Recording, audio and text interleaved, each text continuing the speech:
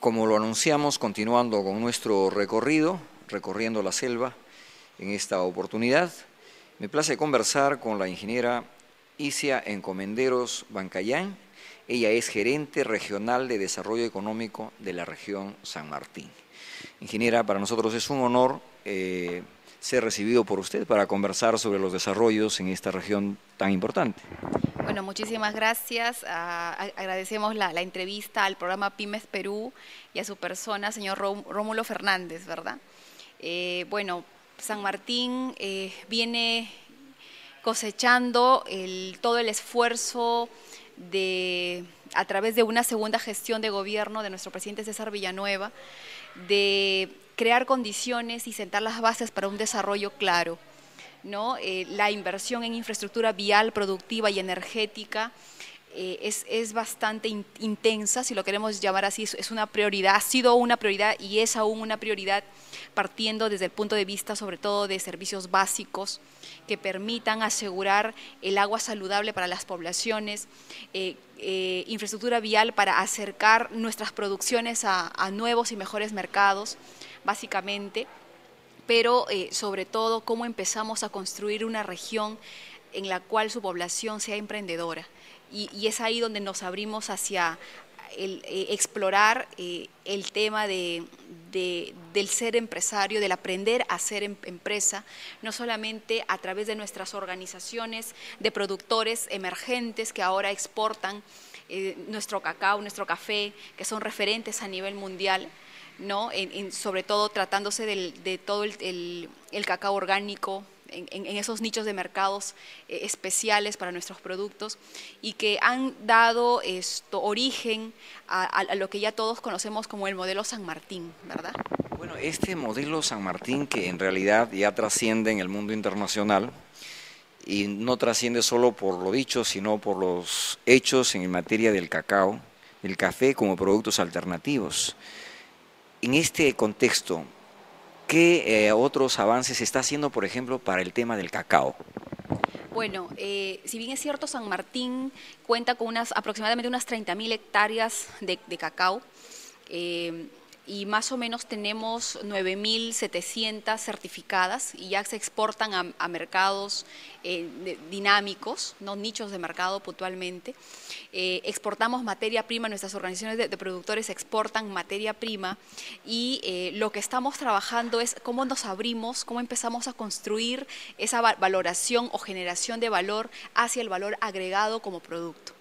Es así que tenemos en San Martín una empresa representativa de chocolates La Orquídea, ¿no? Esto que ellos exportan a mercados europeos, el chocolate como tal, pero también esto tenemos eh, a través de la mesa técnica de, cacao regional, que es un referente a nivel nacional reconocida por el Ministerio de Agricultura, eh, tenemos lo que se constituyó como el consorcio amazónico, que es eh, la agrupación de, empresas emergentes de la región, ¿no? que se articulan para no solamente tener plataformas de mercado, sino también para poder eh, apalancar fondos del nivel internacional o de inversionistas que puedan esto, tener una planta, gestionar juntos una, una planta transformadora del, producto, pero obviamente todo esto nos abre hacia al, hecho de ir explorando eh, la, transformación desde el punto de vista también de investigación. Y es por eso que nosotros lanzamos en, alianza con la Mesa Técnica de Cacao, los actores de la mesa, eh, el, el, CITE Cacao. Muy bien, es un buen referente y un, hecho en, la práctica, que eso es importante, esto se mide por hechos. Eh, usted ha hecho mención al tema del agua, que están trabajando y preocupados por dar una mejor agua saludable a las familias, pero también está considerado en esta parte, eh, por ejemplo, el riego tecnificado. Sí, casualmente eh, estamos iniciando todos los trámites para poder esto impulsar el programa nacional de riego tecnificado, el PSI. Hemos tenido ya varias visitas de los técnicos del nivel nacional. Tenemos una junta regional de, regantes, ¿no? Porque si bien es cierto, hace unos dos, tres años eh, ellos han, han, estado en proceso de, organizarse y finalmente ya tenemos una junta regional de, riego y eh, tenemos proyectos que no solamente, que se vienen elaborando, pero que también nos ha permitido eh, mostrarles que hay otras alternativas para riego y que también podemos hacer prácticas de reconversión productiva en zonas arroceras, ya sea en temas de, acuicultura o ya, ya sea en, sembríos de, cacao, porque hay, hay, zonas donde se cultiva arroz que eh, también son propicias para el, para el desarrollo del cacao. Entonces, San Martín eh, está trabajando arduamente en todo lo que es la reforestación, sobre, sobre todo en, cabeceras de cuencas. Y si bien es cierto, la actividad ambiental es una actividad transversal a todas las actividades económicas, y a la parte social sobre todo. Entonces, ¿cómo si ya eh, estamos eh, impulsando la, la, construcción de servicios básicos en comunidades rurales, cómo ellos también depositan o, aportan su cuota ambiental en, estos, en estos proyectos de infraestructura.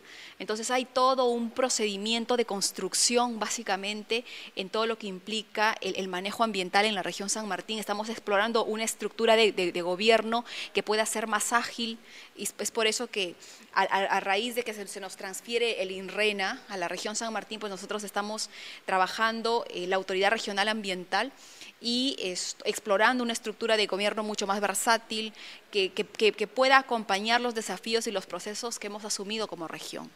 Eh, sumado a este del medio ambiente y la zona verde, la biodiversidad y todo esto que es tarea de todos, tanto del Estado como del sector privado, eh, hemos visto ahí algunos, algunas iniciativas de la juventud también, eh, con quien voy a conversar, pero ahora quisiera pasar al otro tema, ingeniera, es el tema del mercado. O sea, ha hecho usted referencia en más de un momento, y entonces quería preguntarle a usted, eh, la Cámara de Comercio de aquí de Tarapoto, eh, con Dalmacio Hidalgo en la gerencia, en algún momento hicieron ruedas de negocios.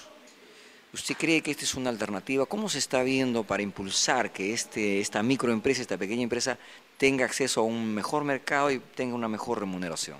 Bueno, el, instrumento de ruedas de negocio eh, representa un mecanismo importante para eh, juntar a la oferta y la demanda y hacer negocios, valga la redundancia. Y es precisamente que en el mes de julio eh, San Martín fue sede de la Expo Amazónica. No sé si usted recuerde.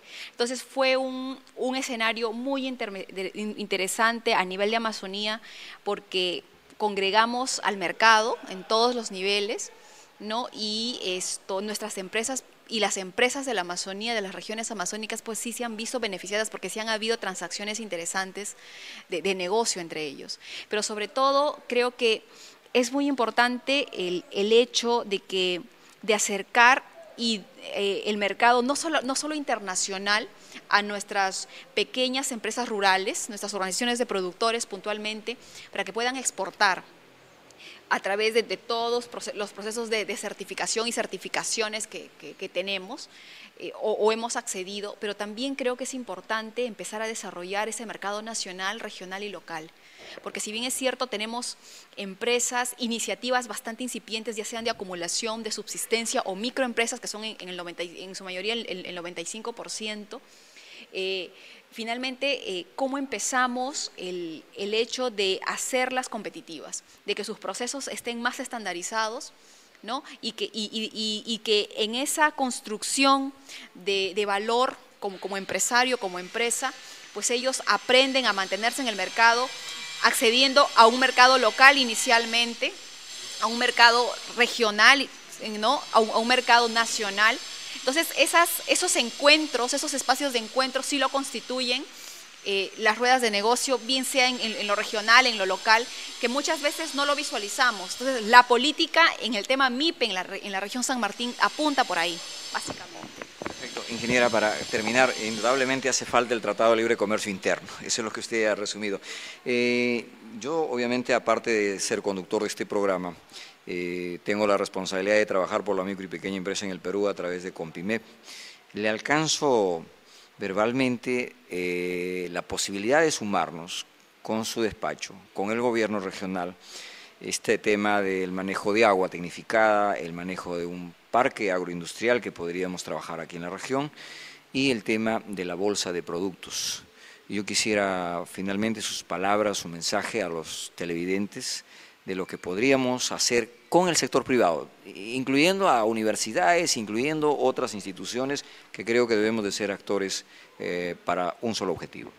Bueno, desde el Gobierno Regional de San Martín, todo el apoyo, toda la, plataforma que pueda servir de base para dinamizar eh, las economías hacia afuera. Nos interesa fortalecer eh, los gremios empresariales, la Cámara de Comercio representa un aliado estratégico para el desarrollo económico en la región, porque si bien es cierto, nos interesa entablar este convenio con, Piura, con, la organización que usted representa, porque no solamente va a repercutir en, hacer alianzas en futuras plataformas de, negocio, sino también en cómo intercambiamos conocimiento. y ya estamos haciendo gestión del conocimiento que muy bien eh, serían bienvenidos para nuestros empresarios en la región San Martín.